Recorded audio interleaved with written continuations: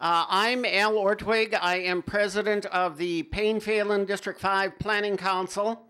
Uh, and I'm extremely pleased that all of you are here tonight about such a uh, serious topic. I do want you to know that uh, the most recent incident happened a couple of blocks from my house, so this is not like an issue that is unknown to me. Um, first off, uh, I would like us to remember the family and, um, and others who have uh, experienced harm. Uh, so I would like us to take a moment of silence. If prayer is your thing, send a prayer to the um, to Ray uh, Widstrand, who's in the uh, hospital, um, or do just a silent message sending. So let's take a moment of silence.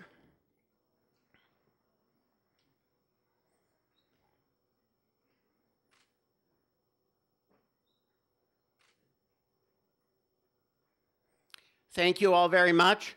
Now I would like to introduce our host for the evening, the pastor of the church here, Roger.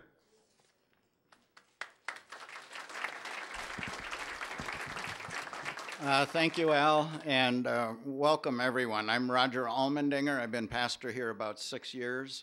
Uh, we meet here often, and I think that's a good thing. We're glad to have you here. Uh, it is a large and uh, complicated building. We host the Literacy Council's Open Door uh, Learning Center. There's four very diverse uh, congregations that worship in our space.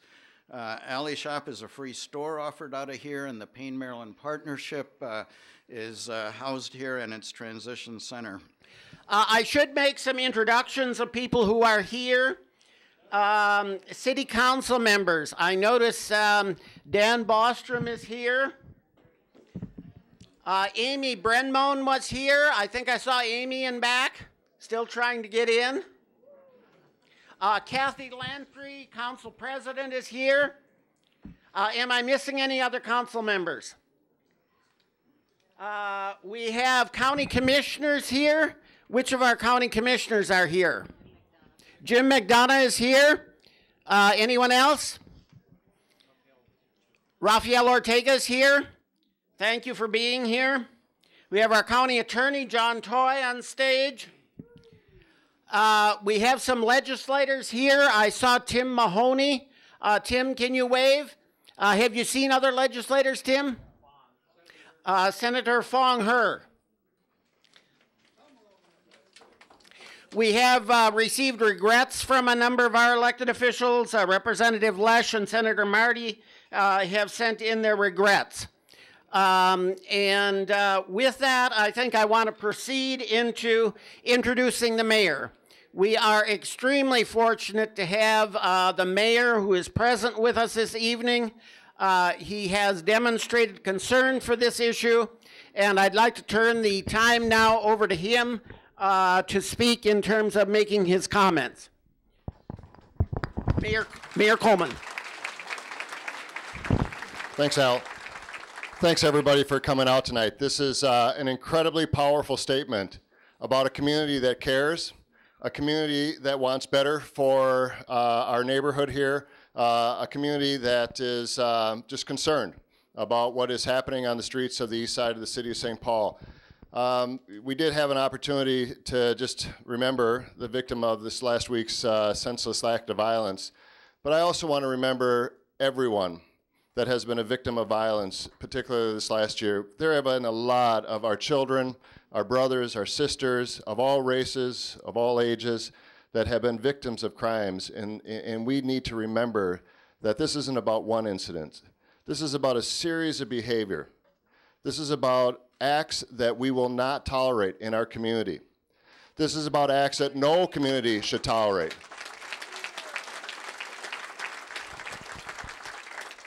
It is really hard when you've invested your life into a community, when you've raised your family in a community, bought a house, gone to school, opened up a business, tended to your yard, gone to church in this community to see the things that we have seen, particularly over the last couple months, happening in the streets of the East Side.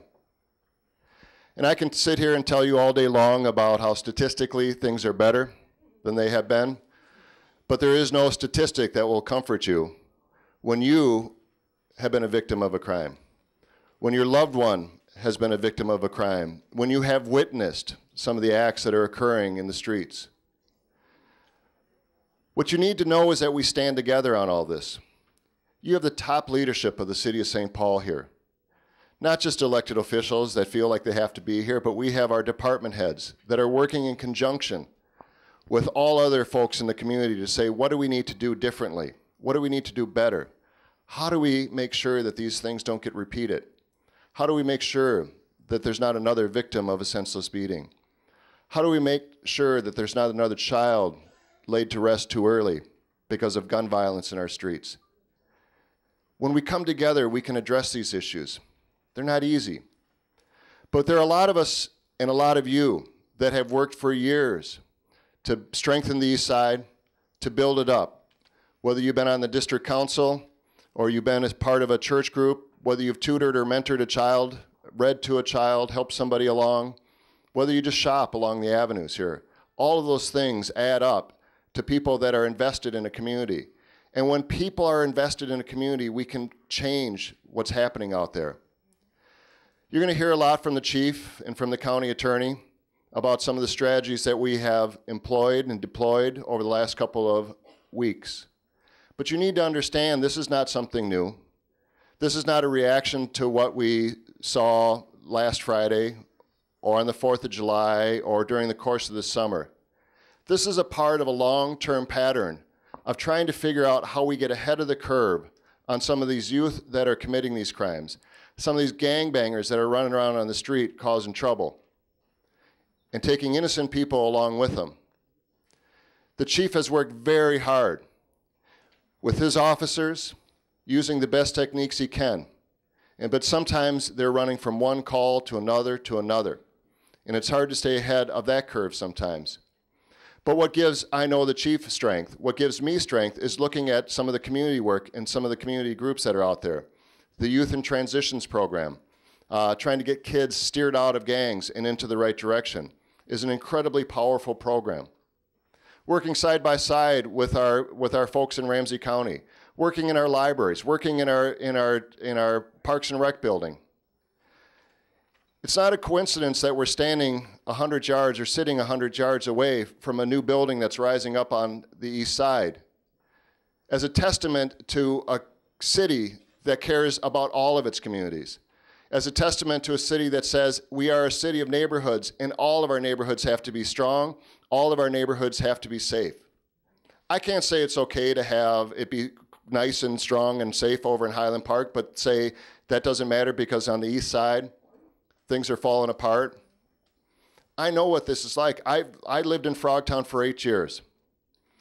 And I had summers where it was nice and the neighbors got together and you could walk down the street and feel like you were really part of a community. And there were other summers where one family moved onto the block, maybe selling drugs or running kind of wild, and it totally changed how we felt about that community. Totally changed how safe we felt in our own home. I've heard those gunshots at night. I've seen victims lying on the street. I've been a victim of crime and it does not feel good. And it doesn't want to make, make you want to invest in that community. We don't have it right, obviously. Last summer, we had a lot of success. We weren't perfect then either, but we didn't see some of the incidents that we had. What we're seeing the last few weeks and the last few months in the city is troubling. It's very concerning, and we know we need to do more. I've worked with the chief and with the county attorney, with our city attorney, to say let's invest more resources immediately on the east side. Let's have more officers patrolling the east side immediately. Let's flood the east side and let's make sure that this ends.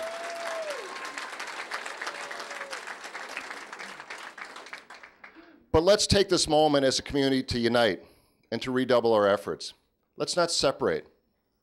There are a lot of good people in this room that care about this community. We're all races, we're all ages. Some of us are new to the city of St. Paul. Some of us have been here for generations. Our strength is in uniting, not dividing. So tonight, it's our opportunity to hear from you a little bit, and I'm going to apologize because I'm going to leave in, in, a, in a little while. I, I have some other commitments, but I will be here for a while, and I do want to hear from you. And I want to just say to you that we, every member of this community, every member of my leadership team, every member of the police department is committed to making the east side and Frogtown and the north end and the west side and every part of the city a great place to live, to raise your family, and to be a part of a community. Look around you. Look at the strength in this room. Let's walk out of this room united and committed to making sure that we fight to make the same the east side of the city of St. Paul as strong of a neighborhood as any other community in this state. We can do it. Thank you.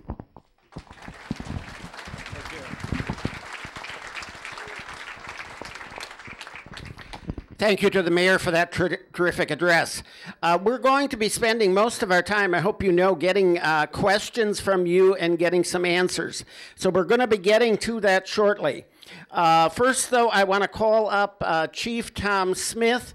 Uh, he's going to provide a very brief overview of the Widstrand case, uh, and he's going to tell us uh, what the community can expect of the police and how we can all be a part of the solution. So, Chief. Thank you, Al. And thank you for everybody being here tonight. This is a testament of why I live in St. Paul, because people care. Now, I'm going to give you a briefing of uh, what happened in the last couple of incidents, not just Mr. Wigstrom, because there's been troubling incidents with what we call, it's kind of a national trend with flash mobs. But I want to tell you one thing regardless how we look, regardless where we worship, regardless what our race, ethnicity, or anything else in, this is a community issue. This is not about race. I want to I want to make that clear. I know people will have some questions, and we've got all sorts of experts tonight. Even I've brought a bunch of people from the police department that'll be able to answer even more specific questions when you have them. But I want to let you know that we are working. We did a lot of good things last year on the east side, and we have some really good partnerships that we've continued to do. And you get three or four or five incidents of large groups of, I've heard, I can say, thuggish behavior, and that can ruin everything that we've done. And I'm not going to have it. I'm going to tell you that. We are going to put the resources, you'll hear about that in a second. But we've done a bunch of great things in partnerships. Last year, we started a new program. It was called Intel led Community Partnership, Community Prosecution, and Community Policing. And guess what? It worked. We had very few incidents like this of large groups of individuals that come together at a moment's notice. We don't know when. Technology is a good thing and a bad thing, where you can get 40 people to show up on a street corner because they use a device like this to tweet or whatever they use and to show up. By the way, I'm asking parents out here, that's one thing that I'm going to ask you to make sure that you look at the media tools, the social media tools that your children use. If you get one thing from me tonight, it does make a difference, by the way. That's a proactive thing of us working together. So we had a great year last year. We've partnered with 180 Degrees on the east side, Dick Gardell's run. In fact, we have 30 young men that were part of some large groups last year that we came in contact with, partnered with the county attorney, Youth in Transition, uh, uh, Save Our Sons, and they're still in that program this year. So they're not out in the street causing trouble. So I know we can do things that work on the prevention side. But make no doubt about it, I live in St. Paul. I'm the guy that used to call before I was a chief when there were problems like this for the two chiefs that I work for. We will not allow this behavior to happen on the east side.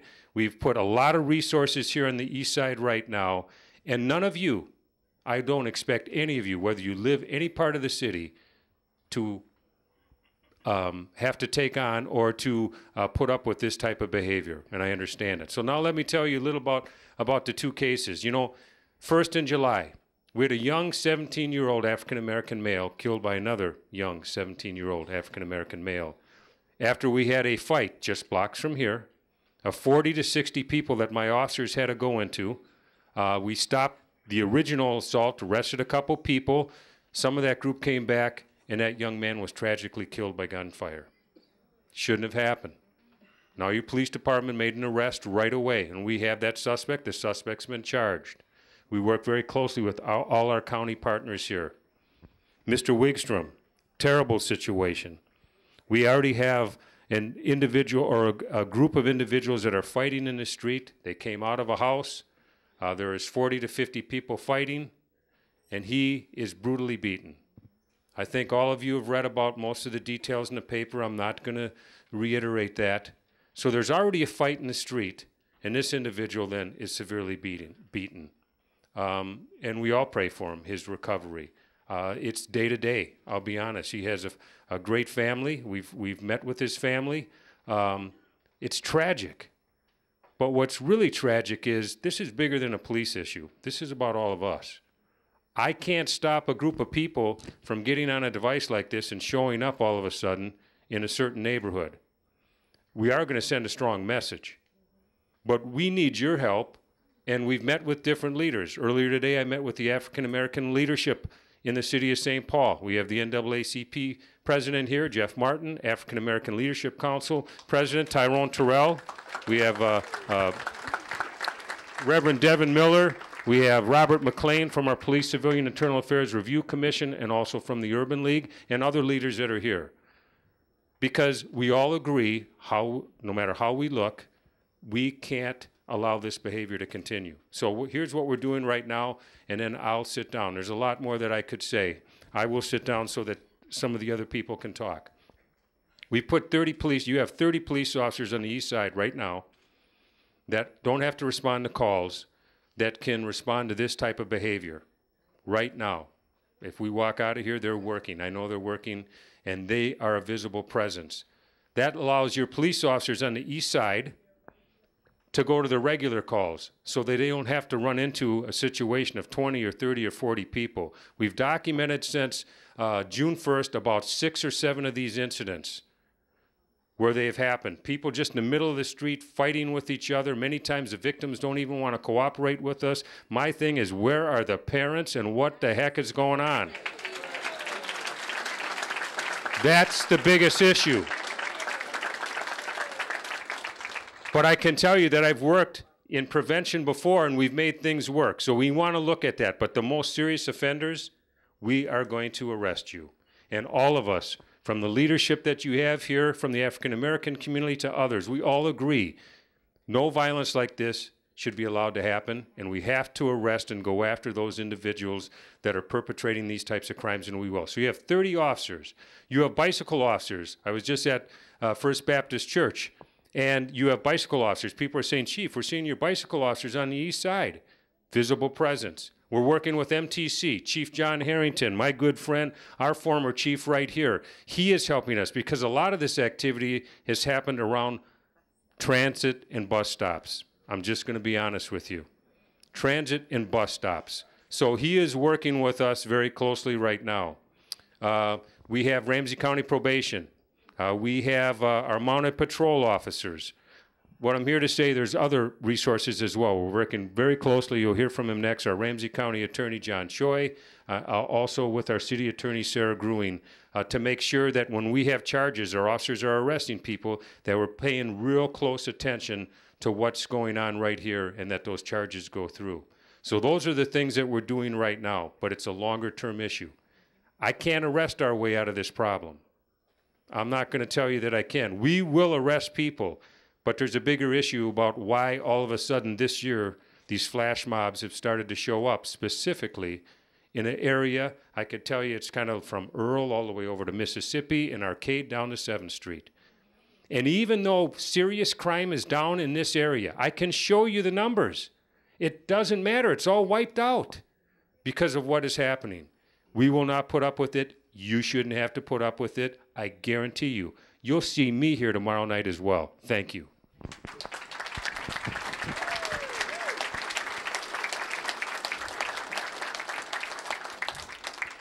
Thank you very much. Uh, to have the police chief here, the mayor here, that's really terrific. Uh, next, we have County Attorney John Choi. Uh, John is going to talk about the general prosecution uh, process and the hate bias crime statutes. John. Good evening, everybody. I'm John Choi, and I'm your Ramsey County Attorney. And um, I wish that uh, none of us were here tonight because um, something very tragic, horrific, and horrible has happened uh, on our beloved east side in our community. And I remember when I first read the uh, details of this horrific act, uh, I was just appalled. And what hurt about it for me so much is the fact that uh, uh, Chief Smith talked a little bit about this, but we had invested so many things. We were, you know, doing a lot of great things, and we had a great summer last year. But this summer, it's just not been working out. And this act that happened, it just ruined all of that. And um, but with respect to moving forward, as the mayor talked about, I think it's very important.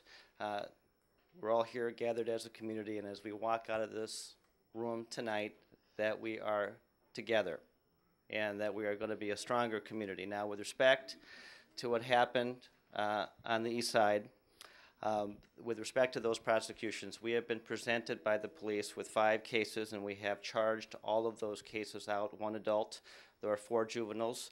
Uh, with, with respect to um, three of those juveniles, I can't talk about the details of that because it's not public information. Uh, but I will tell you that from my perspective as the chief prosecutor, we will not tolerate this type of violence, and we will find and we will, see, we will seek and we will find justice uh, for Ray and his family and this community. Um, so the, the criminal process is going to play out, and uh, there's people here from my office uh, who are very dedicated to uh, ensuring that we have accountability and we send a very, very strong message. But moving forward, we have this incident and we're going to deal with it in the criminal justice system. But as a community, there are important things that we need to continue. We need to continue to working on figuring out ways to stop this type of behavior. And we talked a little bit about uh, the, the success that we had this past the, the last summer. Uh, we're going to double our efforts in that particular area. I just had a conversation with uh, St. Paul Youth Services, and the chief talked about this. But I th really think one of the reasons why we had success last summer is that we were going out and finding parents whose children were out past curfew. That's what I think the important part of that is. And so we're going to redouble our efforts. St. Paul Youth Services has agreed uh, to continue uh, their work in a, an additional month.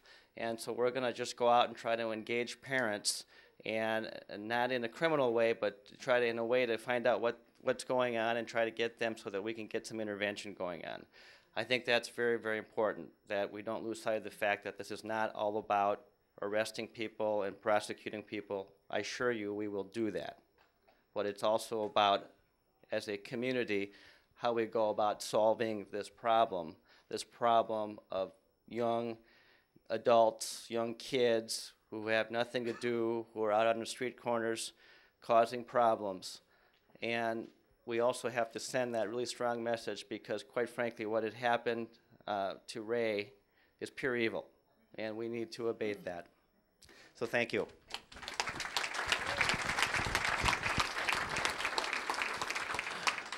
The next part of our process is to have you, you ask your questions.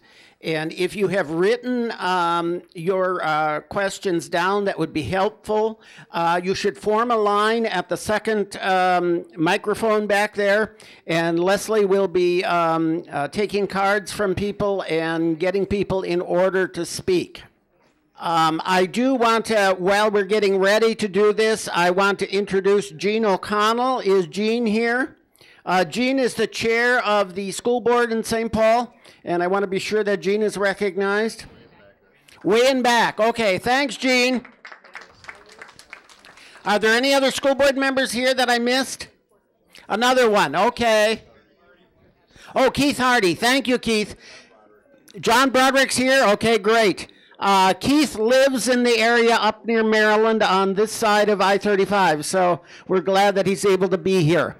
Uh, we're going to also have a panel of people who are going to be ready to answer questions. They're, they're going to introduce themselves as they um, respond to questions, I think is the way it's going to work. Uh, so why don't we take the first question? My name is Rick Cobb. I own two properties over on Bush Avenue. I had 30 to 50 kids go into one of my vacant units and have a party. The police came after I started shooing them all out, They co- congregated outside. The police made no arrest. They did a breaking and entry.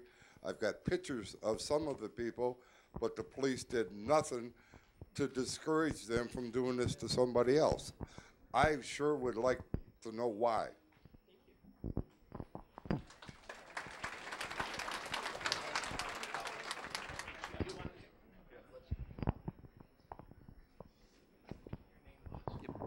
Sir, my name is Joe Neuberger. I'm the senior commander for the Eastern District, so the officers that responded report to me. I can't answer that question right now, but if you have one of the contact cards, I will get your information and I will find out. Uh, They should have. Um, I can't give you a good answer right now, and I would prefer not to try and just, you know, tell you something without any kind of factual basis. So if, yeah, I saw that you were sitting near the front here, I'll get your name and, and contact number and we'll make sure we find out why. Next question, please. My name is Linda Konachek, and I just want to bring up a kind of a partly a safety issue, and I see kind of kind of gangs in training coming through this area. I did draw a map. I'll drop up to the chief, and I've tried to let two staff of the police department and one of the heads of park know about this, but no one seems to have any concern about it. There's two brewery buildings on the other side of the police block across that Bruce Vento trail, there's a smashed up uh, gate where the kids get onto a walkway of pipes over the trail. It's about 30 foot drop. There's no handrails, and I'm concerned they're going to fall and get hurt. And then when they get to the end on the rainy uh, part of the block, um, at the dead end of Reaney, right up by the police station area, um, then they have to kind of climb down and get on a real steep thing and come and bail up over the fence to come through Reaney right by the police station. So I'm drawing a map because I would like that fence that's collapsing in different places besides the gate is open, and it does have a cheap piece of chicken wire hooked onto one side of the broken gate, but it's not attached on the other side, and someone could easily uh, pull that chicken wire off. So I just wanted to, it's a safety concern for the people walking on the pipes across the trail that might fall. Thanks. Th- Thank you uh, for that information. And we do have folks from the- our Department of Safety of Inspections. We have Parks uh, and Rec folks here.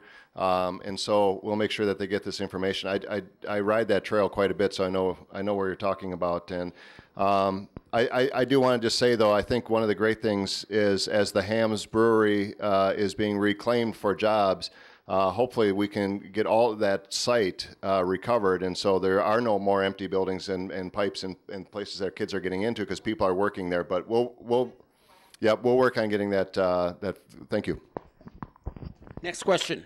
Hi, my name's Kathy Kiefer, and I live on the east side of Minnehaha.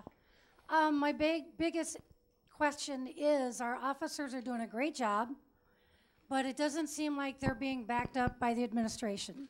They're they're trained to to take these hoodlums down, but when they do this, they get reprimanded, and I don't think it's fair.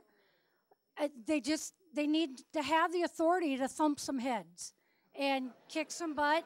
If that's what it takes to get this under control, that's what I'd like to see done.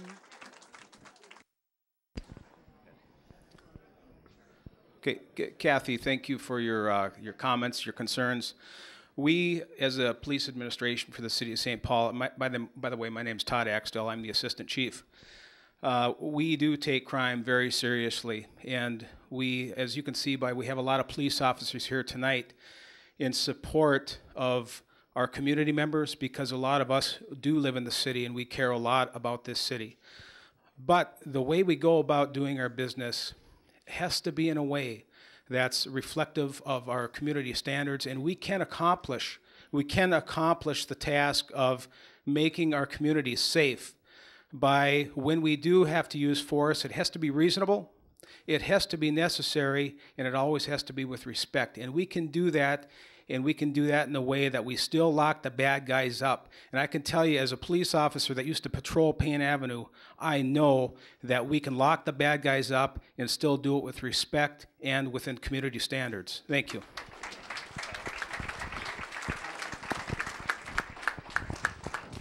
just a couple things too i, I want to be clear we have more officers now in the city of st paul uh, than i think at any point in history we've added over 38 officers Uh, not just uh, patrol officers, but we're going to add more sergeants. We have we have folks that are now uh, because of some of the investments that the chief is going to make. We're going to be able to free up some officers that are currently sitting behind a desk, and they're going to get out on the street. Uh, we're going to add analysts to help analyze some of the data so that we can sense and, and detect patterns prior to that. But I also want to say, and it's a little bit uh, following up on, on uh, Assistant Chief Axtell's comments. I've lived in this community all my life. And I think we're blessed to have one of the best police departments of any city in this country. And they do a good job. But one of the, but one of the reasons why they do a good job is because they do have the respect of the community. And if they lose that respect because they're going around just thumping heads or beating people up for no reason, I will guarantee you the work that they do will become 10 times more difficult. That is not a strategy for success, that's a strategy for failure. Next question. I'm Pat Kiefer. I'm Kathy Kiefer's son.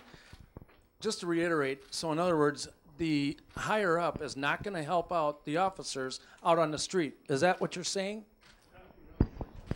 Straight out. Okay, boss.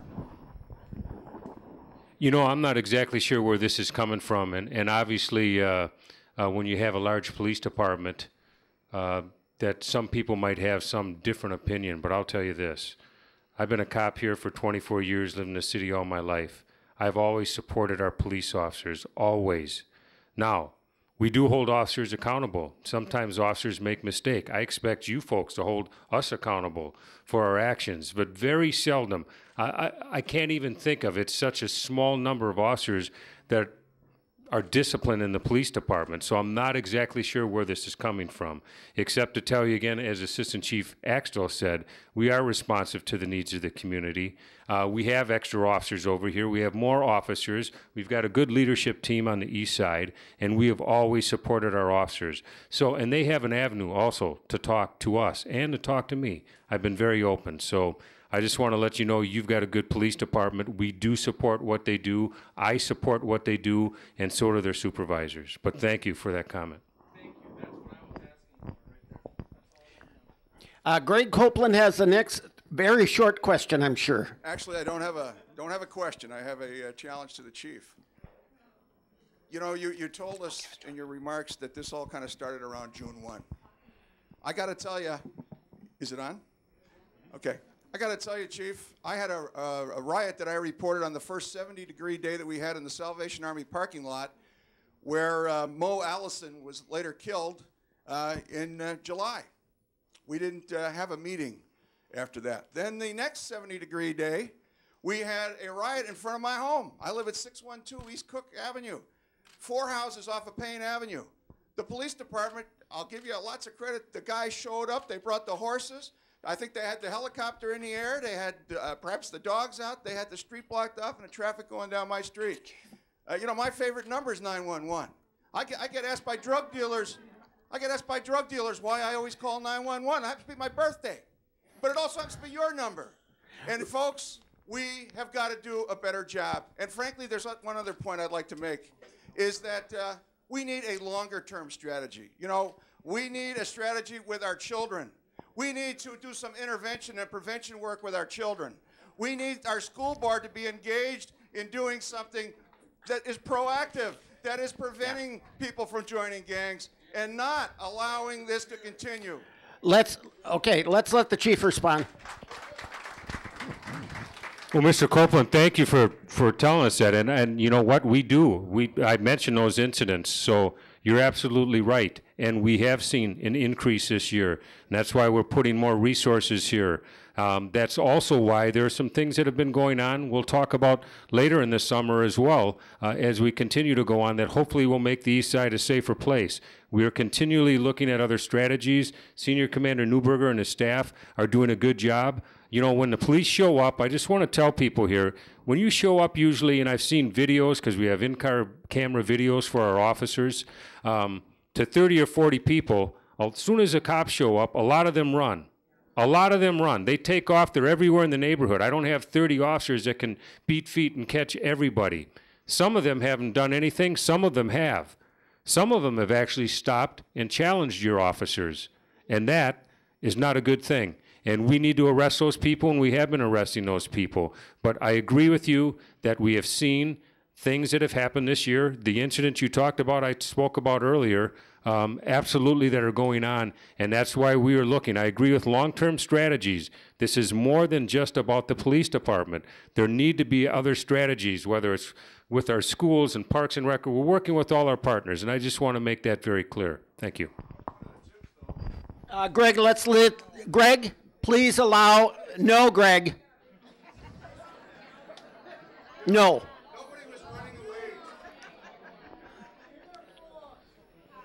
Hi, my name is Diane Veal, and I stay at 594 Case. And I want to say that um, the kids over there, when I wake up in the morning, they're there in front of my house and on my porch. When I go to sleep at night, they're on my porch. And the police, they arrest them, so they say, but when they let them go and take them around the corner, they come back around. I call the police like the sarge tell me, and all they do is take them around the corner, take them, take their dope or whatever. When they're gambling, they take them and give them a ticket, let them go. So what's the purpose of that?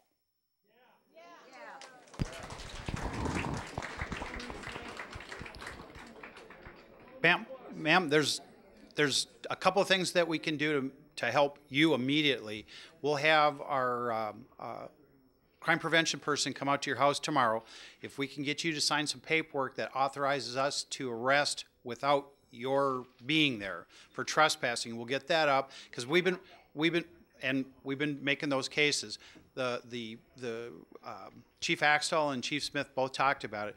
There are some restraints that we have to follow. I mean, there's, there's rules that we have to abide by just like everybody else as far as prosecution. So we'll increase the efforts, we'll do the best we can, but again, some crimes, we have to follow a process. Okay, the officer told my son that we already have a no, no trespassing for anybody that does live there. And they said if they catch anybody there that does not live there, they're gonna charge him with that. How's that gonna, you know, go, take effect that? How can they charge him for that? When he does not, you know, can be held accountable for people that's standing out there that does not live there. If I understand your question, the officers believe that your son is inviting them over? On the sidewalk, when they're there twenty-four seven, you can't control, he can't control people that just come stand in front of the building or walking up and down the street. Those people are there twenty-four seven. Well, that, yeah, you're correct with that point. They, they can't arrest your son for trespassing on his own house, okay? That, that, you just can't do that. Uh, Well, I'm telling you, they can't do that. Um, and we'll make, we'll step up the efforts. We've been working that whole case area from Payne, um, uh, west, and we'll make sure that we pay special attention to your house.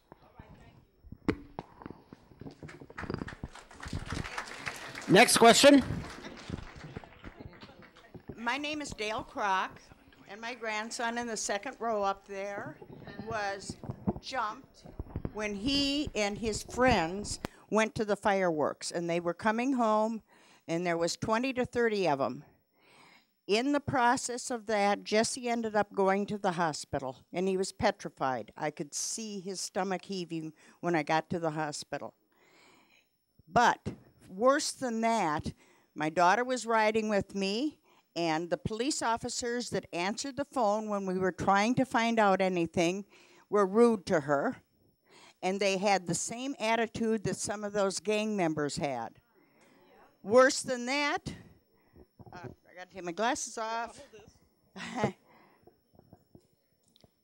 um, there should be something in the newspaper that says what the police are allowed to say and not allowed to say because we could not get any, any information.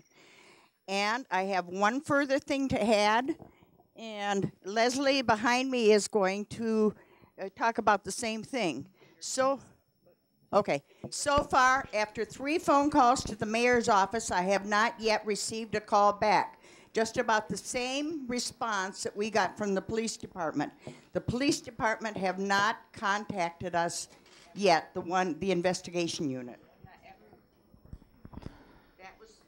Well, uh, Dale, I, I, first of all, I'd like to say that I'm really sorry that uh, your grandson Jesse's been a victim of a crime. Um, but we do have a process in place. First of all, when you call when you call 911, those are not, just so everybody knows, those are not police officers answering the call. That, that call goes to Ramsey County Dispatch Center and their civilian employees. So that's a, that's a point that we will certainly uh, document on your case. We'll take a look at that and we'll make sure we communicate with that, the Ramsey County uh, Communication Center. As far as follow-up goes, uh, we do have our investigative units here tonight. We'll make sure that uh, uh, that is followed up on uh, immediately. I'm sure that uh, our investigators are working out. We have Assistant Chief Martinez back here today. I know that uh, uh, he is listening loud and clear as well. So um, again, I'm sorry that that happened. We will follow up on that for sure.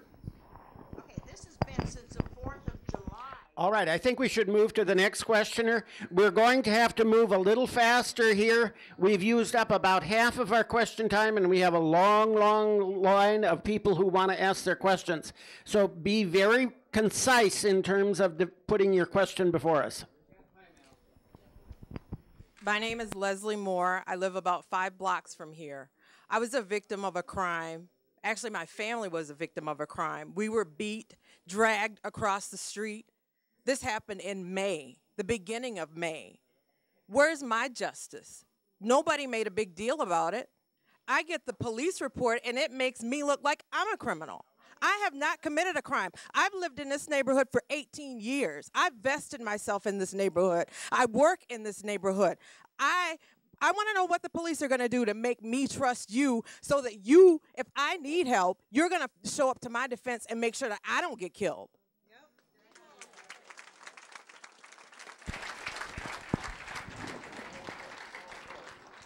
Ma'am, I'd hope that, and, and we've got a lot of people here tonight, that we will be able to get the incident that happened to you so we can absolutely follow up on. I want to tell people something here.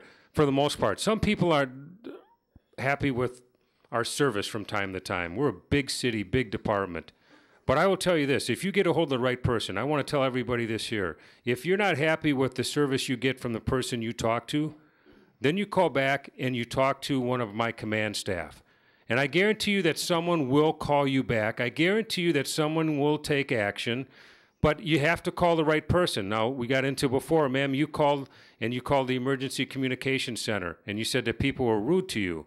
Um, but if you have investigative questions, we're going to take a look. That those calls have to come to the right person in the police department. Exactly. Exactly. And Right, a 911 center should be able to tell you that, but I, I want other people to be able to speak, but we want to get both of your information so that we can see where your cases are and what has gone on here so that we can help you. Excuse me, Chief. Uh, I think some of you have had individual um, issues that, that the uh, staff aren't going to be able to respond to, uh, but I think they do want the information so that they can follow up. So if you can put the information on a card about a case that we can't respond to now, uh, they'll uh, agree to get back to you. I have a request of the chief. Is it possible that someone in uniform could take folks' information? We do have cards, but if there was some place where someone, people could just get the information tonight, rather than have to make a call tomorrow. Can I just say, we have Jesse's information. I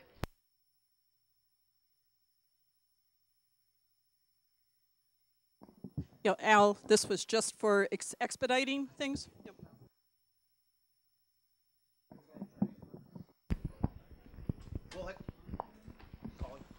Who can record people's concerns? We'll have, we'll have officers, myself included, outside in the area, and we'll stay till the last person gets their information passed on to us, and I guarantee you, you will get some kind of response from us. Thank you.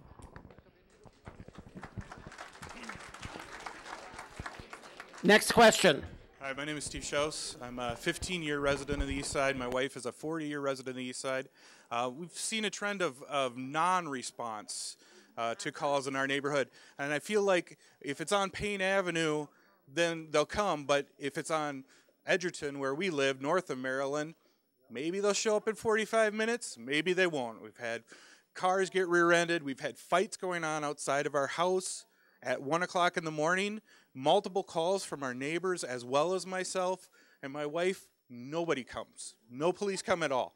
So I, I respect that you have a lot of police officers and you have a lot of things that you need to take care of.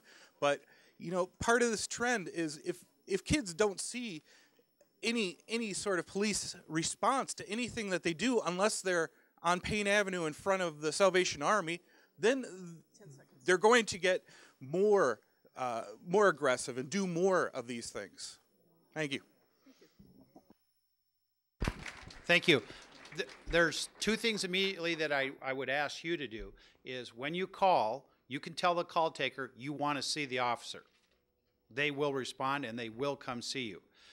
If you don't get a response for some reason, you call back and you ask to talk to one of my supervisors. All right? Now, the, the, the other piece of that is, and, and the chief alluded to it, um, Ramsey County Dispatch handles the triaging of calls.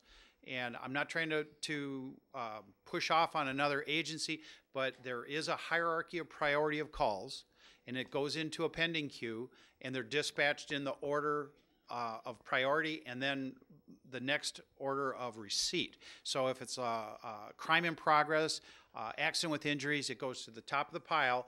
And if it's a property damage accident, it could well sit up to 30 minutes. So there are some administrative issues because we've only got so many folks to handle so many calls at a time. Um, but with regards to the first part of it, you should see somebody, and if you want to see them, they will be there. And if not, if you talk to me when we get outside, I'll give you my cell phone number. Next question. Hi, my name is Jean. I live on Lawson and Arcade. I'm a 40 year resident and multi generational in the Twin Cities. My son had a gun stuck in his face during a robbery of T Mobile at Seeger Square. My neighbor had four tires removed off of his truck while it was parked in the alley. My car was just robbed. Where are you? You say that you're here, you're not.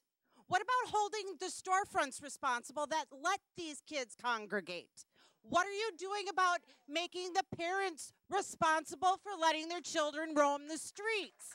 What about our children that don't feel safe in their own neighborhood? What are you going to do about those parents that let these kids run the streets? I'm a responsible parent. Why aren't they?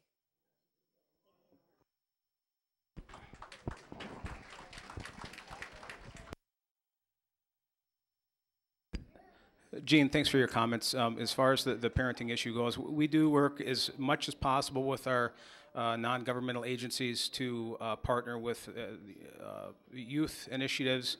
We have several uh, across the city, including uh, programs like the YWCA Junior Police Academy. We try to get kids involved in after-school activities.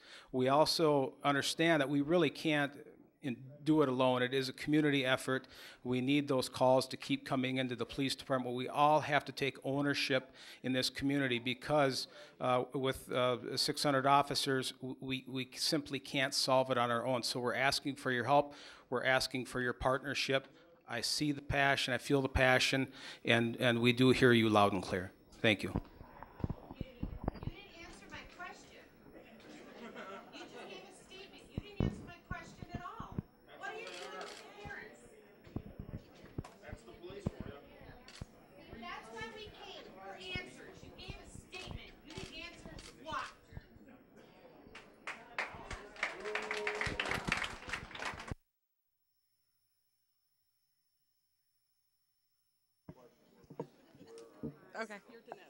My name is Danette um, Ulrich. I live. Can they even hear me?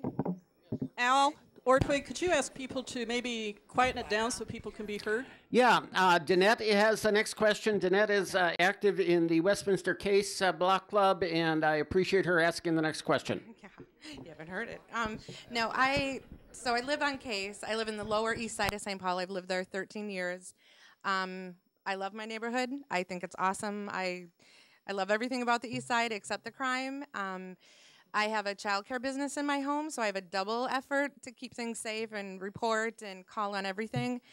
And my thing is, I have to drive up Case. Say we go to the YMCA, and there is a section, and you guys um, referred to it, but um, between Payne and Edgerton on Case, um, past the Wilder um, park, there is.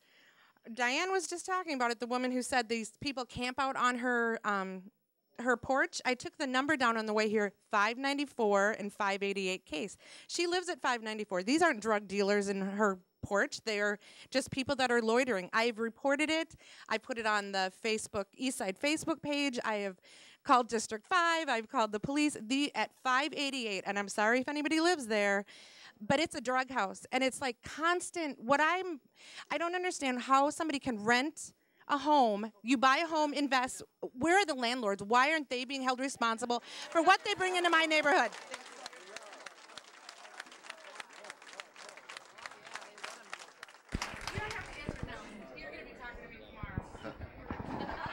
Well, no, I, I appreciate, but I, I do want to say because other uh, people may not know some of the things that we're doing, particularly to go after problem properties and problem landlords. We do have our folks uh, from inspections here.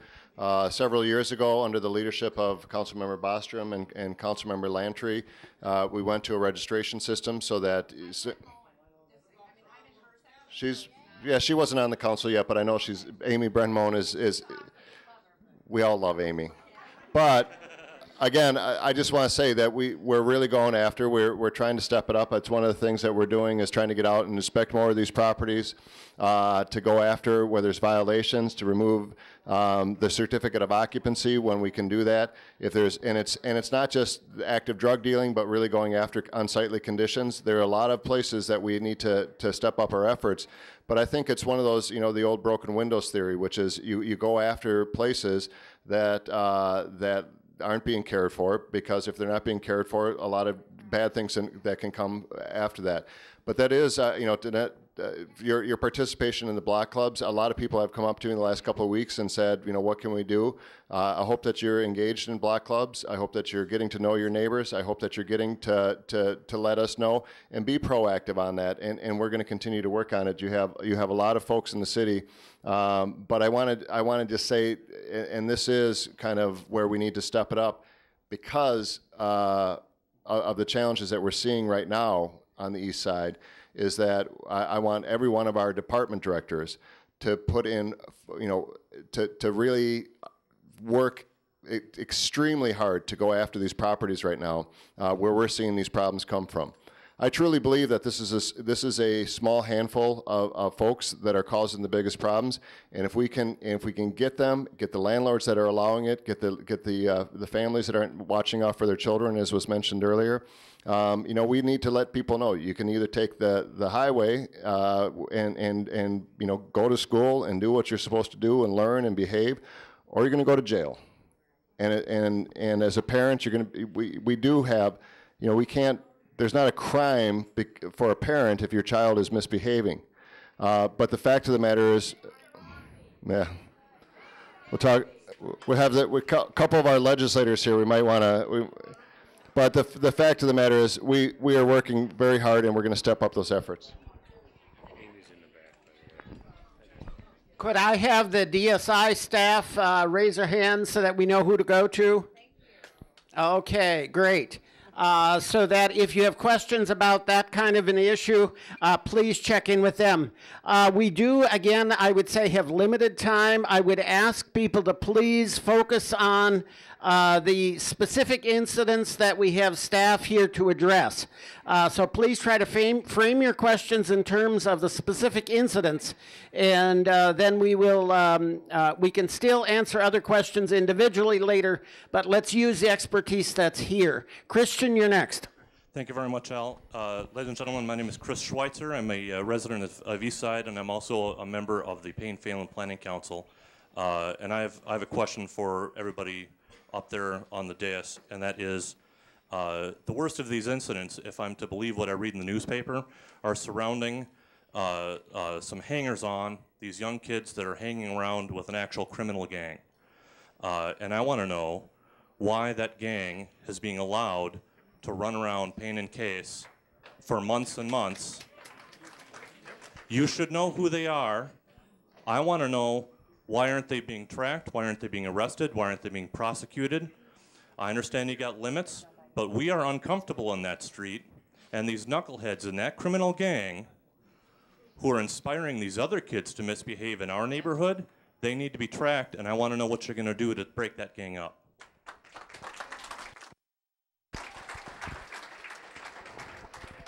That's a great question, and I want to tell you one thing for sure. And I and I know that we have uh, some of our gang unit here uh, tonight, including our gang unit commander. We have arrested a lot of those individuals already, and there are more people to be arrested.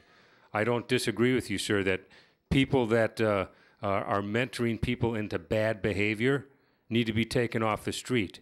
Number one, we do have to have charges so that we can make them stick and work with our county attorney or city attorney so we can arrest them. I can have my gang unit commander come up here and tell you the number of people that we have arrested.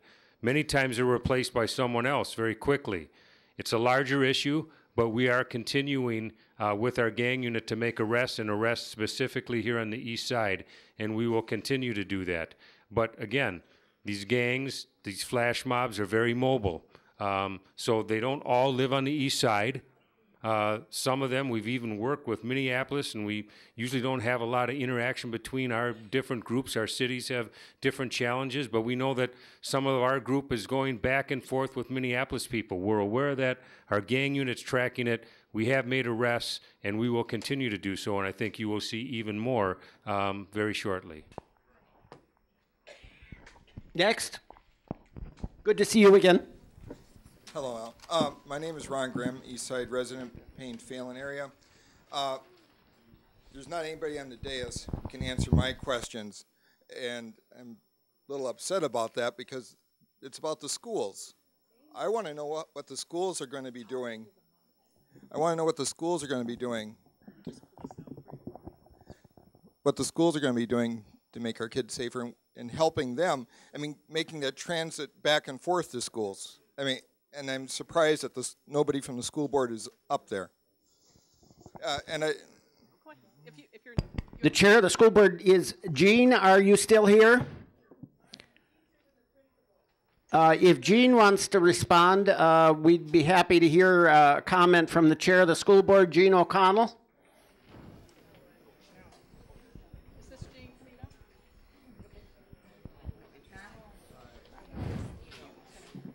You don't want her? So I, um, you know, the, we, we know that parents are concerned about safety and getting to, to and from school.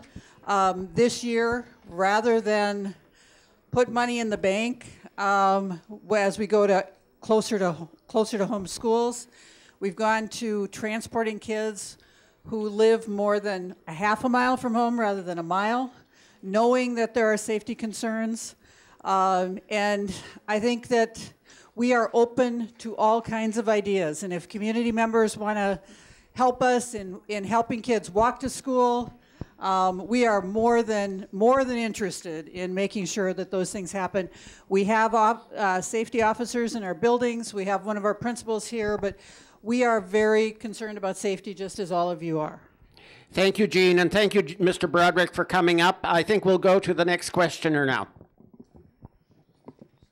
Hi, and let's try to keep them focused on these specific incidents. Sorry. Sure, my name is Mary Beth Redmond, and I moved in on, onto Payne Avenue just six years ago. Um, I have just a couple things. I have, first of all, I've, I raised five kids as a poor single mom in St. Paul. It can be done. Um, one of my, my son is an officer, and I'm quite proud that he's a St. Paul officer because because there are good people to mentor him. We don't want our police officers having to behave like animals towards anyone. We wouldn't want them treating human beings like animals. And so I'm very proud that he has the people he has to work with. Two, I have worked in the St. Paul schools for 20 years at Central High School. I have to say, your schools, your principals, your teachers are your partners. But there is only so much they can do when so many of these issues come from parents. So again, I would say perhaps there's not laws about parents, but we have all the youth intervention services. What about parent intervention services? Where are those resources for parents? And third, just one more thing. This is a good one. there are wonderful works being done. The Neighborhood Stabilization Program. I'm looking to sell my house on Payne Avenue. Every day for the past two weeks, we read about the terrible thing that happened on Payne Avenue. Very difficult to sell your house. I'm not selling my house to move out of the neighborhood. I'm selling my house to hopefully move into one of the neighborhood stabilization houses that are in this neighborhood. Wait a minute. The Star Tribune reported on the neighborhood stabilization program. Where is our media? Where is St. Paul Pioneer Press talking about the good things happening on the east side? I can tell everybody I see how great it is to live on the east side, and they all laugh at me.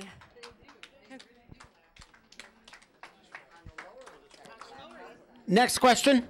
Yes, my name is Greg Murphy. I live on Dale Street North. Uh, I have a really bad continuing problem with the rental property next to me. And here's the kicker it's owned by Ramsey County deputy. He lets his 23 year old son screen the people in there. Uh, and this is not minorities, this, these are white kids from uh, 18 to 25. I've been threatened with bodily harm the last two weeks. I've had garbage thrown at me and hit me. And I don't get to sleep until 2:30. I'm working with Amy Brendmoen. Thank you very much. Code enforcement. You're going to be hearing from me. It's Greg Murphy. I'm on 1100 block of Dale Street. One of the officers that responded this week, thank God, uh, when you make a complaint, I've had people threaten me come over, and that happened last week. And one of the gentlemen, the St. Paul police officer with the white shirt on and striped uh, tie, came, talked to her. Uh, I'd like to see something done here. This is absolutely ridiculous. As a veteran, I've had it with this. And it's time maybe to get out of this town. Thank you. Anything? Next question. Hi, I have like a comment. Um, I've lived on the east side my whole life, born, raised here. Um, the problem is, is that uh, for the last since like July 4th, there's a house that's been targeted across the street from me that's been shot at three times. The recent was Monday evening. My daughter and myself were out in the front. The kids came up the street. The car, they were looking for this certain car, and they shoot at them right in front of us. Wouldn't even maybe from here to you. And it's like they're blatant. They don't care. It's like they come by there looking for them daily. I haven't seen them since Monday though, but I want to catch them. I want to catch them because that's ridiculous and it's pissing me off. Serious. And you should be ticked off. I was politically pissed, or I guess I can say that here. Um, ma'am, thank you. I want to tell something to everybody that's here tonight, please. You've got people that are here and our police officers. If you have a problem property next to you, because a lot of what we're talking about tonight has to do with properties, it has to do with some other social issues. But if you have properties, we want to hear about it. Um, and please, and I guarantee you somebody will respond to your problem property complaints. And to our earlier question, and I didn't have even some of the numbers, but my gang, one of my gang unit sergeants came up here and said, with some of the recent incidents on Payne Avenue, that even at Payne and Case, uh, Payne and Geranium, they've used Facebook. Some of these young people are actually posting very graphic things on YouTube where they're assaulting each other. Uh, and we have taken that through our gang unit because they are very, I'm working them to death. Um, and they have taken that information and actually received charges of riot from the Ramsey County Attorney's Office because they've been able to cull through and have to look at that social media. That's very time consuming, and we have to find it first. That's why I'm asking for other people to help us with that too. When you come across that, to contact somebody, the St. Paul Police Department gang unit, and we have those people that are all here this evening. So six people were just charged in that case in July because of we being able to pull up what they posted on Facebook. So I want people to know that. We announced that we wanted to prioritize the local voices of people in District 5. So um, if people, if you don't live in District 5, you live in St. Paul, you live elsewhere, we'll let you speak, but we really need to hear from the residents. That's what this meeting's for. Thank you very much. My name is Tim Holden, and I'm running for St. Paul Mayor. No, no, no. No. No, no, I want to just say something real quick. The reality is, Chief Chief Tom Smith. Tom Smith. No. For one reason. Mm-mm. No, no, no, no. This is. I, I'm here to. I'm here for one reason. Our parents need to be held accountable. Our parents, I think, need to be. Tim, held I think people are asking you to uh, a minute, you- respect. We're, we're asking. I want to say I'm very sorry for Teray. Teray, the gentleman that was assaulted. This is a tragedy. The gentleman that was assaulted. Nobody's been saying anything about him. I feel tragic for the guy who was assaulted. I also feel that you know what? The police need to hold the parents accountable. We need to hold the parents accountable. All right, Tim, that's enough time. Mr. Holden? Mr. Holden, we'll go to the next speaker.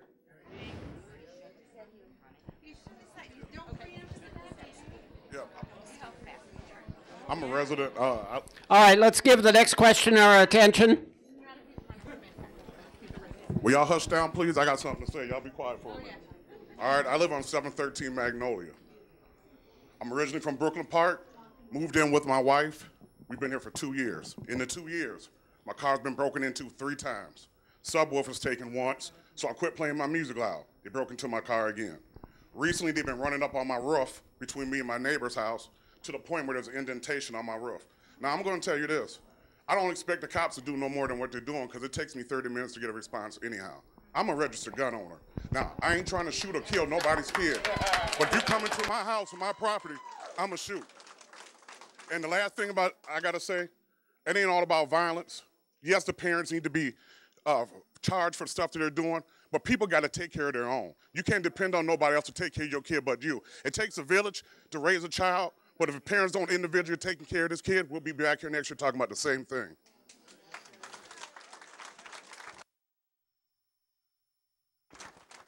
Hi, my name's Harriet. I'm a new resident. I just moved in. I'm on Arcade and by Arcade in Maryland. I'm going to be honest. When I was looking for houses, I didn't look on the east side. I'm from Detroit. I didn't want trouble. But I found this great, and I'm, you know, I've been held up three times, beaten. It's all happened to me. So, but what I want to say is this I'm a teacher and I've been a social worker, and this is really what I think. You know, and please don't shoot anybody's kid. You know, I, I, I walk into classrooms, I could tell you. I walk right in a classroom and I know who's going to be in trouble. I've worked with kids that long. But here's something I saw in my own little street, my one little block. There's a family there, the father is not mentally capable of raising a child. He isn't. He's not a bad person, he's just not capable. And the mom's not really altogether. So I've seen people in the neighborhood, people are helping the kids. It's a community. We're helping, we talk to the kids. These are kids that are going to be in gangs. That's okay. So let's just be a community, volunteer, and work with the little ones. Let's get to them before they get into a gang. Let's try to keep our questions focused on the panel of experts that we have here and the response to the incidents involved. Next questioner, please. I'll have the microphone. My name is Joseph Baltruconis. I do a lot of volunteering here on the east side. It's very apparent that we have a crime problem here and perhaps a very serious gang problem. We have a rec center, that, a miracle center that's going up at Payne and Maryland. But how many rec centers did we have to close in order to get this one rec center? We can spend $10 million on polar bears. We can spend $10 million on gorillas and apes. We can spend millions of dollars on a Como pool. We can spend millions of dollars to remove contaminated soil from a second-rate ballpark that's going up. And how many millions just to build that ballpark? My point is. Did you have a question for the panel? Yes. Why? Why? Why is the east side a budgetary constraint and not a budgetary priority? I asked for a few hours for a rec center and they told me budgetary constraints. I have another point too. Let me, let me just speak to that because there are a lot of folks in this room that have worked many, many years to get investments on the east side. We saw it with the, uh, with the uh, Phalen Boulevard, uh, and we've seen as a result of that, we've seen new housing going in. We've seen Kendall's Hardware Store, that is uh, one of the best new uh, businesses in town. We see Ward 6, which is, you know, one of the best restaurants in the Twin Cities. Uh, we've seen, as a result of the uh, the Phalen Boulevard, we've seen jobs coming on the east side at Health Partners. We've got the new jobs coming into Hamm's Brewery. We've got a lot of investment. And I don't think that there's any better, I don't think there's any better example of the investment than the building that is going up. Because people have said they, they, you know, we need an immediate response to the challenges that we're seeing, and you're gonna, and you're, you're getting it. More officers, more enforcement, uh, sweeps, working with probation, tougher charging, all of those things. But all of us know that the long-term solution, as the woman that was a social worker uh, had, had stated, working with these kids from the early stages, getting them into buildings where they can learn how to read, getting them into buildings where they can form relationships with trusting adults, getting them into buildings where they, where they can get a bite to eat after school, and they can see that there's a different path. And that's the kind of investment, $14 million worth of investment on the east side on that block alone, in conjunction with great partnerships, including the members of this church, including, uh, inc- including a lot of community groups and the district council and all kinds of folks. This man to my right has spent a long time living on the east side. And I'm not going to tell you how long Councilmember Bostrom has been on the east side, because he gets sensitive about that. But, but we used to have a saying when he was president of the council, we can't adjourn until we've given a million dollars to the east side. Uh, but the fact of the matter is we're continuing to invest, but we're investing smarter. We don't want just buildings that are sitting there empty. We want buildings that are filled with life and filled with resources for our children and have the best tools available. That's what we're doing across the street, and that's what we're doing across the east side. Next question. And keep the questions focused again on the incidents we're trying to address. Hello, my name's Tina. As you all know, I am the parent of one of the kids that is being charged. And I would like to respond to the comment that the police chief did make. You said, where the heck are the parents? The parents do be at work, which that's where I was when this did take place.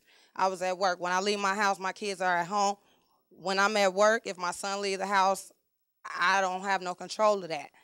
And at the same time, I also been a victim of crime in St. Paul, where a person came into my house, took my kids from their bedrooms, locked them in one room, put my mom in another room, locked in a room. Police came, found the man in my house, all my stuff in his car, and this man was still released. So yeah, I done had a few occasions with St. Paul police. Yeah, they're really rude.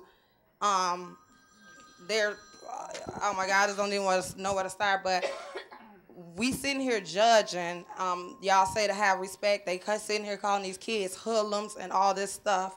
Okay, some kids, some kids do fall victim to the wrong. Like I say, it's older people out here. It's, in in this case, it's like a lot of adults that's involved with this stuff. That's luring these younger kids, and then they're luring these younger kids. Like I said, my prayers go out to the family. I feel very sorry. If my son did have something to do with this, he will be responsible for his actions. Yes. Thank you. Thank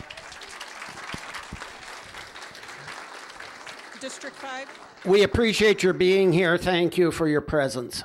Hi, I'm Scott. Been born and raised in St. Paul. Just bought a house in St. Paul. I'm 33. Uh, I feel like the media is 97% responsible for this thing here. I feel like the media is 97% responsible for this. I have heard for one month at least about the two Minneapolis white cops that were racist. A direct hit, white and racist, and they were being racist, this, that, and the other, every single day for one month now.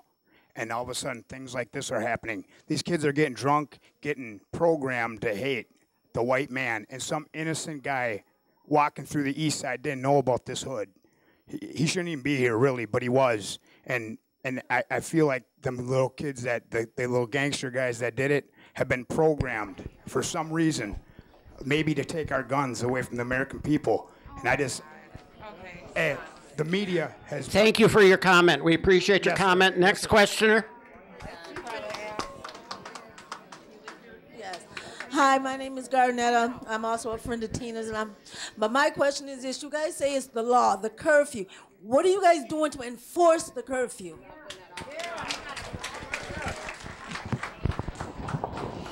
You know, since uh, May 1st, We've had over 100 people on the east side, young people, that have been picked up for curfew. In fact, that was a program that John Choi and I uh, embarked on last year with our officers that worked so well.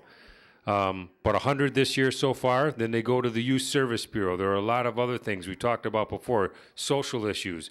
Actually, last year, we actually, through this program, the young people picked up, we had somebody come and deal with their parents to address just what you said and the woman before we decided to try something different because a lot of the parents were working, didn't know what their children were involved with, didn't know their children might be involved or being recruited into a gang. We had great success.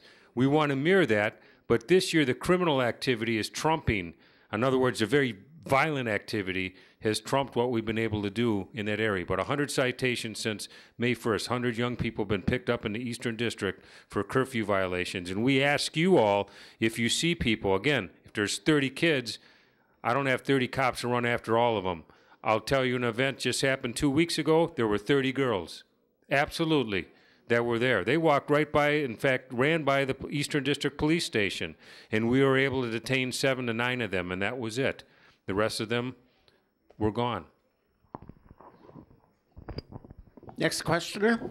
Again, try to focus on the issues before us. Hi, my name's Laura Thompson, and I hear a lot of people talking about uh, their kids, your kids. You know, these are our kids, all, all of our kids. You asking where the parents are? I mean, we live in a country that incarcerates 25% of the incarcerated population in the world. So some of those parents, they're just not around. And then you got single parents that are doing the best that they can. Some of them may be working two or three jobs. They're not home at night because they're working restaurants or they're working healthcare. You know, it takes a community. So I suggest instead of all this finger pointing, maybe people start thinking about, hey, what can I do? How can I get involved with my church, with my community, with my school, to like do something proactive and start asking these guys what they're doing aside from just arresting people. What are you doing long term to grow flowers instead of weeds? Next question. Hi, I'm Abraham Morrell from. Uh, oh, I'm. Uh, I live off of Brainerd, and uh, well, last year I had an incident with a police officer that came to my house, and I was asking my kid to do the dishes, and he uh, didn't want to, and he just talked back to me. And the officer ended up uh, coming and arrested me and throwing me down to the ground and put me in jail and he broke my whole family up. So I, you know, now I'm trying to sell my house and trying to sell everything, but nothing happened to that officer, and he didn't do the right thing. He didn't come and talk to me. He just threw me in jail. So that broke my family up. Now you're going to have a problem with my kids because they're not getting raised by their father. And what are you guys going to do to to make sure your officers do the right thing instead of doing the wrong thing and breaking up families instead of holding them together. All right. Thank you for your comment. Uh, we, we do pride ourselves in the St. Paul Police Department of being uh, professionals and responsive and try to provide the best quality service. When members of our audience, members of our community have uh, an experience with a police officer that they feel is not up to the standards of the St. Paul Police Department, we ask that you reach out to a, a couple uh, different avenues you have within the police department. Our internal affairs unit investigates policeman misconduct. They do it thoroughly, they do it well. We also have the Police Civilian Internal Affairs Review Commission, community members that uh, look, look at these cases uh, not within the police department. So we do have checks and balances. We try to maintain a positive uh, police force, and we do have those avenues. Please call us if you feel that you've been uh, uh, received less than adequate police service. Thank you. Hi, my name is Lily Cooksey, and I live in the 1300 block of Burr Street, right near the ballpark, the dog park, and the soccer field. I never see a squad car in that neighborhood unless it's a local domestic. I want to know why. And I'm asking the chief that personally. Why? And also, I have a house that's right across the street from me, 1364 Burr Street. that they lived in the house exactly one month before the gang task force was in there raiding the place. That was two years ago. They are still there. They've had Ramsey County sheriffs go in and raid the place. Why are they still in that house? It's a rental unit. It needs to be gone. And another thing, if the gangs are flooding the east side, why don't the police flood the east side?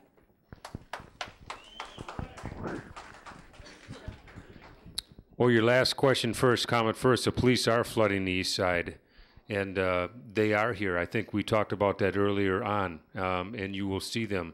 Uh, your question about the uh, soccer fields or the rec center, I, I want to tell people something. We've got 10 school resource officers this summer. They're all assigned to rec centers. So maybe they don't wear a traditional police uniform. So I can't answer that question specifically, ma'am. But the senior commander here from the east side, I'm sure we will make sure that we follow up to see our, one of our school resource officers assigned there. We did that on purpose to interact with our kids, to interact with the young people. And then finally, on the property, we'll take that information and we'll have to follow up with you on that, and we'll be able to run that address. The uh, panel has stayed longer than um, they had agreed to stay, and so I know we're moving beyond their time limits. Um, if you have uh, individual situations that you want to ask questions about, I would ask that you uh, write those down and approach individually. Uh, we maybe can take two more questions yet. Um, okay, take it. Go ahead with the next question. I just wanted to ask a very specific, very specific. Okay, let's take the next questioner. I'm here for my disabled mom who couldn't be here, who lives north of Maryland on Bradley. That's where I grew up. I grew up on the east side here.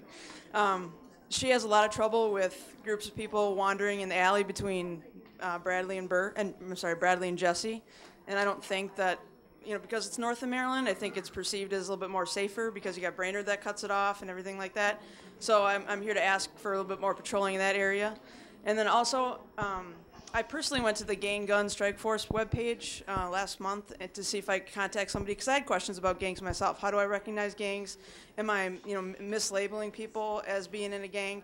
And I emailed the person who was listed as the contact person, and he emailed me back and said, "I haven't been in that post for two years." He said, "I'm not going to pass the buck. Please call me," and that's great, Paul. Uh, I, I, uh, I don't know his, I don't know his last name, but um, yeah, Exactly. So that was great. But uh, if you could update the website so it's more visible as to what we can do or how we can get in touch with the gang task force, that'd be great. I think your request has been uh, acknowledged. Next question. Hi, my name is Pam Tollefson. I've lived here all my life, 52 years, maybe longer than Mr. Bostrom.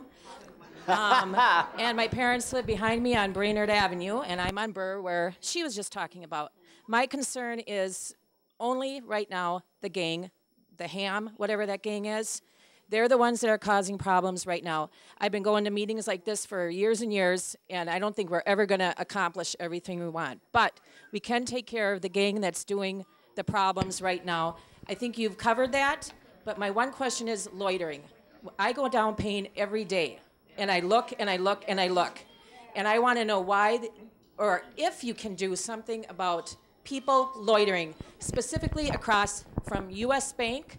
Police go by, there's drug deals. I see it, I want to take pictures with my phone, and the police drive by. That's what I want. Thank, thank you, ma'am. Um, a couple of issues, and the chief alluded to it earlier. Uh, chief Harrington and MC, MCTO police are working the bus stop issue, which is where a fair number of them hang out and the two stores that are on the west side of Payne are um, being looked at very closely by our, our uh, force unit because we believe that that's what's attracting them down to um, that corner. That I just wanted eye contact. No, nope, that's fine. Um, and again, with the additional officers that the chief's given me, um, effective started yesterday, I think you're going to see a marked difference.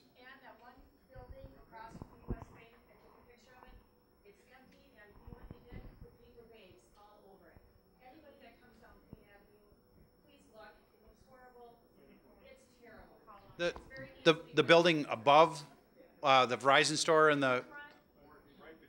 Okay, all right. Okay. City Attorney, Sara. I also wanted to add, my name is Sara Grewing. I'm the city attorney. Uh, and together with John Steckman, who is the senior prosecutor in my office, the community prosecutor assigned to the east side. Uh, the other thing we're doing is aggressively, when we have specific cases come in, this morning we got someone ordered to stay off of all of Payne Avenue. So when there are cases that come in, John and the team are screening those for what's called stay away orders. Judge Millinacher this morning ordered someone to stay off Payne Avenue completely. Obviously, that's a one; those are single instances, but we're we're doing everything we can by the time they get to my office. Sarah. Hi, um, I just want to say the victim's father is right behind me, so I hope you guys stay and hear what he has to say. I, and I feel really bad that I'm in front of him right now, but um, uh, my issue seems so small. I um, just noticed through the, um, the sensors that Highland Park and Payne Phalen are nearly the same size, but we have almost as many kids aged 10 to 14 as Highland, Mac Groveland, and West 7th combined. And I feel like we need more programming, even schools year round. Um, and then the 19 year old that was charged, he lived in Dayton's Bluff, and the landlord had no clue that he was involved in an incident. And I don't know what the, the rights are for a landlord, or, you know, at what point do they know that there's a problem?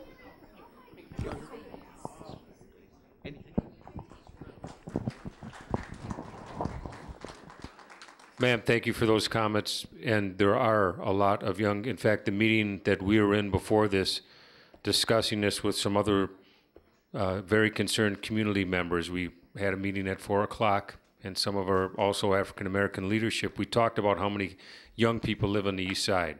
Tremendous number. Um, and versus how many rec centers, all the things that have been discussed tonight, more programming.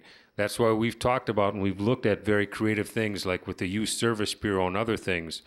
You know, if we can keep the peace, then we don't have to throw as many people in jail because parents and other things, all the things that are being addressed tonight that I think the police department can't do all of that.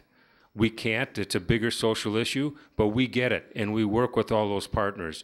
Um, on the landlord part uh, of of a suspect that was arrested, we we don't have a process in place in the police department that that we inform a landlord that someone's been arrested. Now, if someone calls us, we will tell them whether or not, if that's public information, and it is once they're arrested, we would tell them that. But we don't call landlords uh, to let people know. Just I just wanted to answer that piece.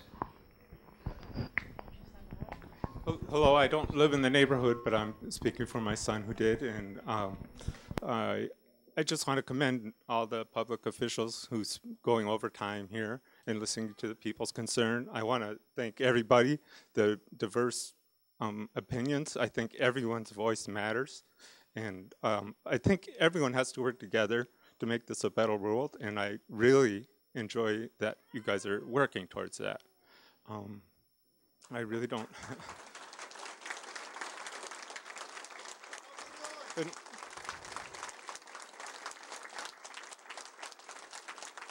And just don't stop. Just keep working towards something better. Um, the only thing I'd add that wasn't wasn't brought up too much would maybe be more towards legislators is that uh, maybe a little pay equity. I, I think poverty has more to do with this than than all these other issues that um, it it's difficult to raise a child in today's world and um, even middle class being middle class myself i struggle just to keep even so that would be my concern thank you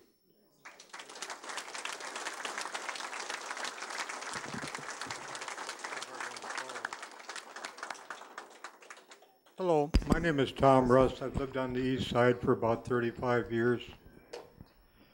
And this is a very challenging place to raise kids. There's so much temptation, and it seems that so often the negative people are able to continue doing what they're doing over and over again. My question is mainly for the chief. and for Mr. Choi. It sounds like you're arresting a lot of people.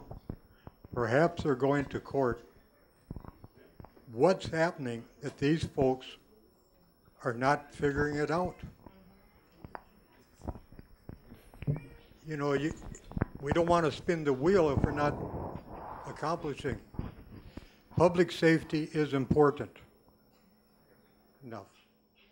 You're absolutely right, sir. Thank you for that. Um, you know, when we make arrests and we present charges to the county or city attorney, the next process, obviously, when they charge a crime, is to go through the criminal justice system um, with our bench and, and others. And so, depending on what happens uh, to that individual, whether they're incarcerated or not, whether they have any kind of programming when they're incarcerated or not, or whether they're even incarcerated and get probation, that is something that after I'm, I'm, I'll um, defer to my partner here, John Choi, uh, that can talk a little more closely to that. But we present the facts. Um, there are times when all of us, including me, I'm a human, I live in St. Paul, get upset when I think a guy or someone that's committed a terrible crime should get more time than they do. And there are other times uh, they might get the amount of time that I think is, is relevant. Uh, but that is part of the larger criminal justice system.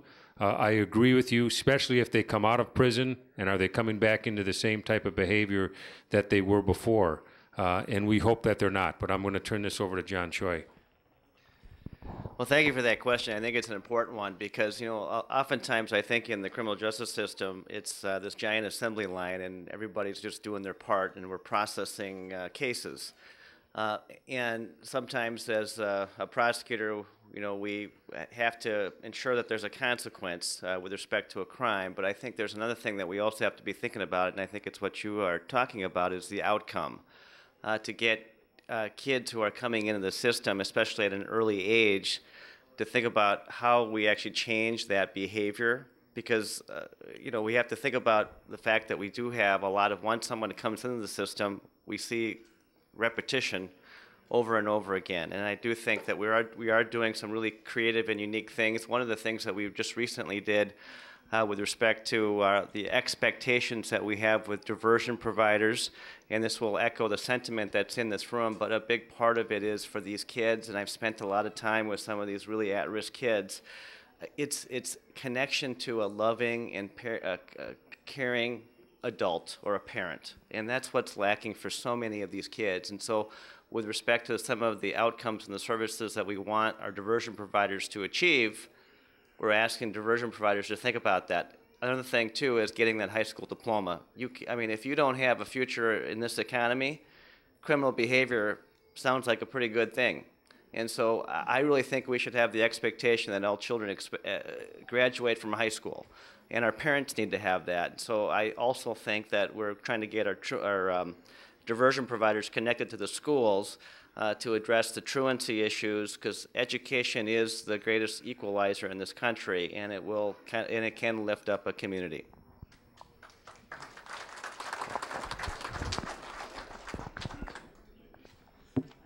Hi, my name is John and I live on the east side of St. Paul. The last time we had a, such a loud, large turnout like this was when a woman was mugged over here on the east side of St. Paul by Lake Phalen. We had a big meeting there at the Phalen Park Recreation Center, which it wasn't large enough to hold all the people, just like this venue isn't large enough to hold all the people. At that time, Mr. Bostrom and Mr. Coleman were at that meeting, but they said the same words that you're saying right now. We're going to do this, we're going to do that, we're going to do this. Everything was all right for a little while. And things start to calm down again. Then it was business as usual. Nothing has changed. We got to do something about this. Nothing changes.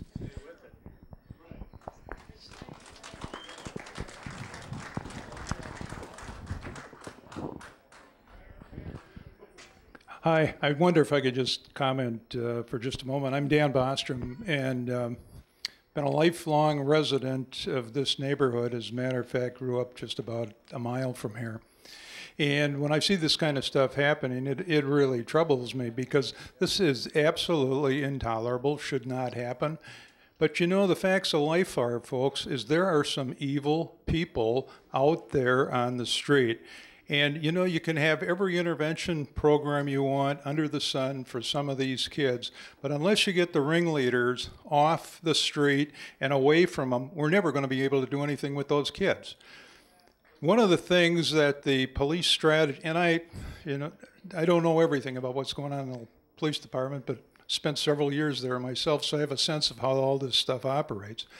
But one thing I know is that in the years gone by, the squads that are working the streets out here on the east side are running from call to call to call. I'll tell you that uh, 25 years ago, working on the east side was the best job you could get with the police department in the city of St. Paul. It was called Peaceful Valley. There were four squads that worked the entire east side on the midnight shift, and between them, they may have gotten two or three calls. That was it. Things have really changed in the last few years. And what's going on now with this gang activity and so many calls to the police is that the squads are running and they simply don't have the time to do the proactive stuff. Now, what the chief has suggested, and what I heard, and we'll hold him to this, he said they're sending 30 officers over here as part of their force unit the mounted patrol will be around, the bicycle patrol will be around, the motorcycles will be around, the traffic cars will be around. There's going to be a, a lot of police officers around here. And what that does for some of the other comments I heard out there, that frees up the other district squads to be able to promptly respond to the other calls for assistance that they get, and also to do the patrolling down around the parks and to do those kinds of things that need to be done. In conclusion, let me just talk about Phalen Park as long as that was brought up. Something significant happened with that whole Phalen Park issue. As a result of that, I worked with my colleagues on the council, Ms. Lantry for one, and we put aside over $100,000 and put up four closed circuit TV cameras around Lake Phalen. Now, not take any credit for the fact that there really haven't been any major problems around there since. But these bad guys do not want to be seen. And it was one of the best investments, in my opinion, that we ever made as far as the cost benefit for that. Phalen is going around the lake, it's, it's really a rather pleasant experience. One of the things we did just within a couple of blocks of this church we put up closed circuit TVs, uh, cameras at Rose and Greenbrier, also over at Payne and Maryland, and also down at Case and Forest, as we have identified some of the hot spots in the area. And we've also appropriated the money to buy some more mobile cameras that we can put up as soon as we have some problems out there and the police officers determine, okay, this is where the trouble is. We'll get one of those mobile cameras out there and we're going to do something about that right now. This kind of conduct from these troublemakers absolutely cannot be tolerated and it will not be tolerated. They're here, the cops are here, they're good guys. I've heard some comments about them tonight, but if you can't call them, who in the world you're going to call that's going to protect us? Those guys are good, those women are good, they do a heck of a job, and I thank them.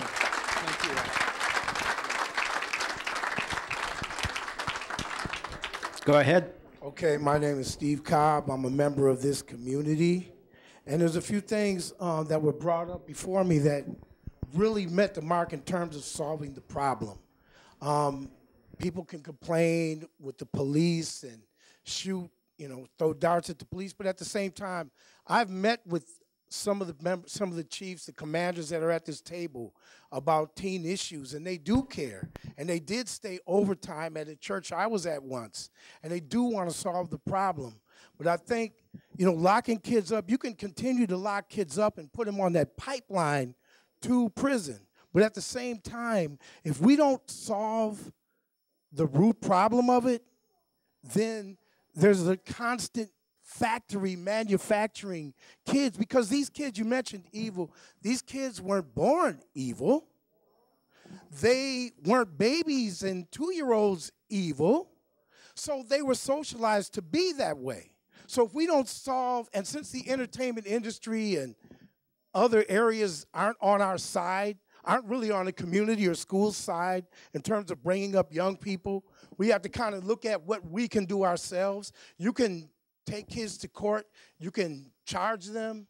They're out. Some kids who, and I know.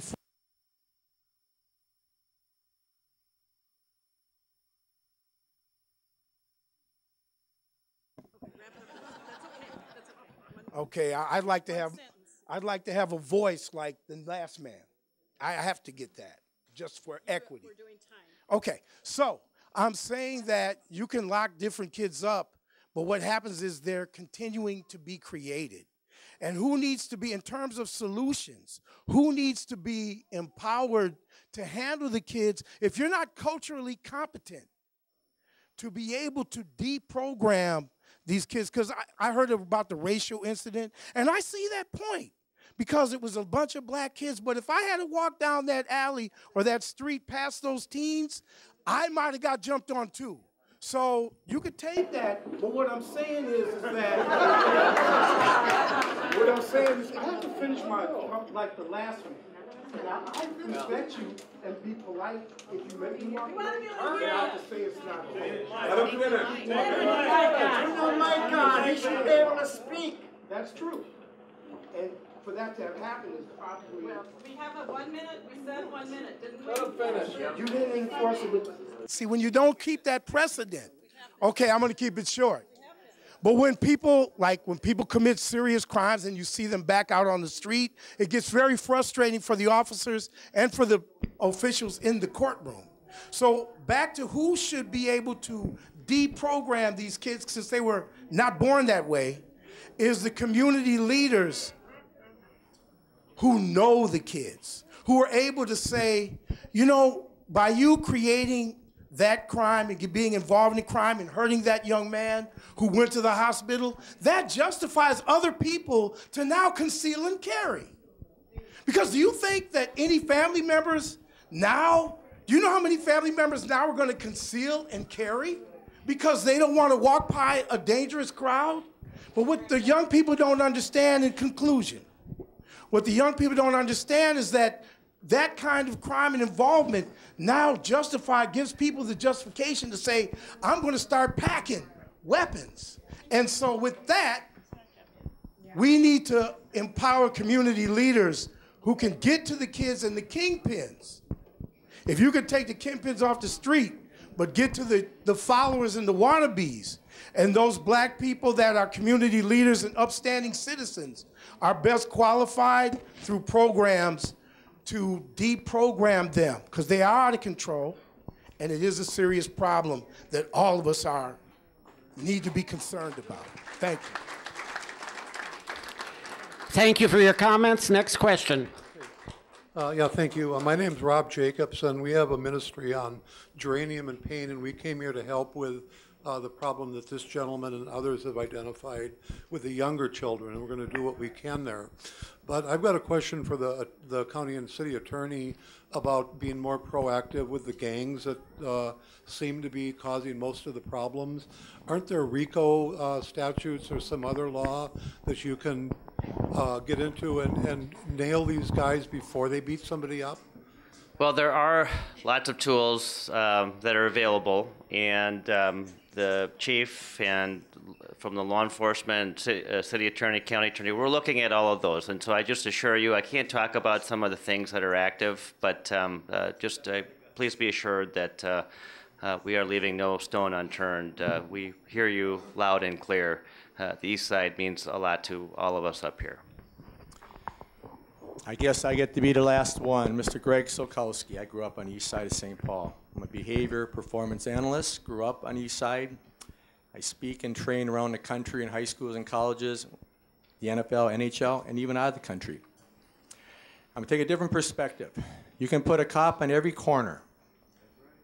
And as the policeman will tell you, if somebody's going to get you and cause trouble, they're going to do it. It's not about the police. What it is, is about all of us coming together. There's an old saying. There's an old saying. If you're not part of the problem, you're part of the, not part of the solution, you're part of the problem. Everybody in this room, keep your yards looking better. When you see kids smarting out, stand tall. We've allowed this to happen, and we're all guilty of it, whether it be through how we voted, how we've done things. Support local businesses. When local businesses go out because we want to support the Outbacks, the McDonald's, the local guys go, and then we have an empty Payne Avenue. Another thing, too, take pride in how you dress. Talk to these kids. As I said, we have put on so many programs. The money is not the issue. The parents don't support the programs. School board meetings are coming up. There are camps, there are clinics. You need to support the discipline of the teachers and so forth. So all I'm saying is it's a different aspect. The last comment. The state fair this year, the state fair this year for the first time in history could not fill their positions. They had more than enough applications. It's the work ethic that we have that we need to improve with kids and adults. Thank you. Thank you for your comments.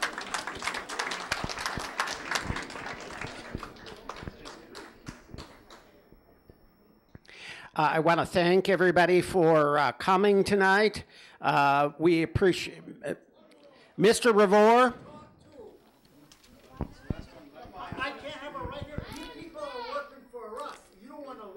Go ahead, Mr. Revore. Yes, I want to know is when you report a crime, how come when you go down and they make an arrest and you go down to the police station and everything about the criminal is crossed out, but your name's on top? Don't you think that's kind of dangerous to have something like that? When your name is on, it happened twice with our name. It's on the top of the list, and the criminal confronted my wife. He went to court. He stole a bobcat. He had, had it on his truck and everything. And he, she was walking down the alley. and He confronted her. I think we have your question, Mr. Revore. I want to know the answer. Why Yeah. do you put uh, people that are trying to help you as the bad guy? Because it's dangerous. That criminal is going to see it. Well, sir, I don't know exactly the, the case you're talking about, but um, if, if you request to be non-public, that should never be public, and I don't know exactly the specific case, but uh, as far as the other data that we do release, it's all governed by state law uh, as far as public information goes. So if, if you'd like to give us the information on that case, we will certainly call you back and find out, and I apologize that that happened to you. The wife asked the cop at the desk, he said, we can't do that. Only one person can do that. Okay, we'll, we'll look into it for you, sir. Thank you very much for your time. Again, I want to uh, thank our panel for being here. Uh, you've stayed uh, longer than you had committed to stay, and I appreciate your being here. I hope that people will turn in your questions to staff if you have them. Thank you to the elected people who uh, were here tonight. Uh, and this is really just the beginning. We need to continue to work on this. We need to have not only the police involved, but youth serving organizations. So thank you for being here and thank you for continuing to work on this project. Thank you very much.